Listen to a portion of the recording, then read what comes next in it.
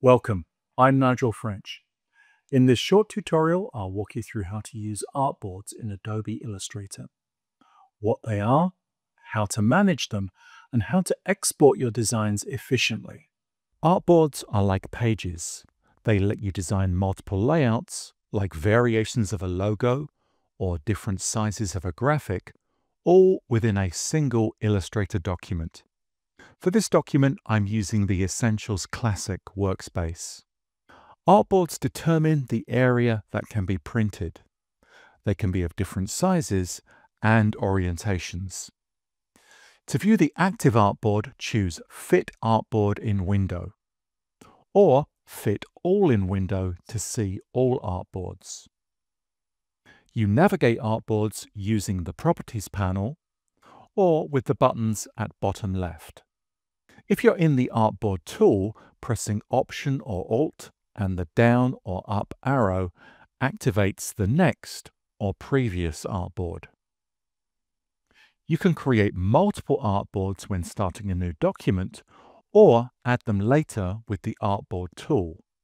Resize by dragging the handles, choose a predefined size, or enter exact dimensions on the control panel.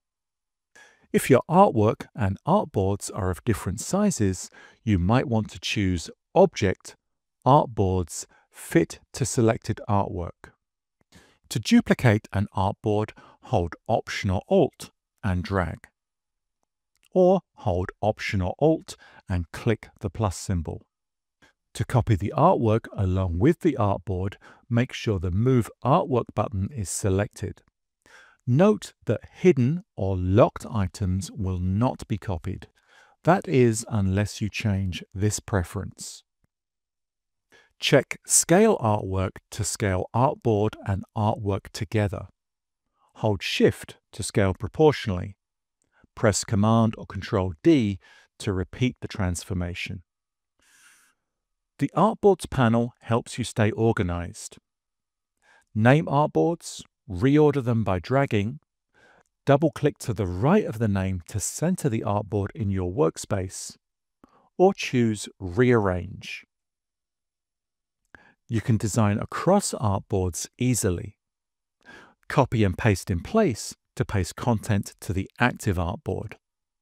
Or choose the artboard tool, then shift click to paste to multiple artboards. You can also paste on all artboards, which can be useful if your artboards are the same size.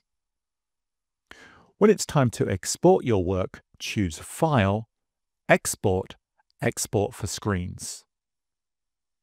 Here you can export selected or all artboards, choose file formats, and set different sizes. If you've renamed your artboards, Illustrator uses those names for the file names. In the prefix dropdown, you can also add a prefix to make it easier to organize your files. Artboards make it easier to experiment with multiple iterations and to keep the different parts of a project together in a single document, allowing a clean and efficient Illustrator workflow. The Illustrator team would love to hear what you think about this and other core workflows. You can give feedback on the Illustrator user voice page. I'm Nigel French. Thanks for watching.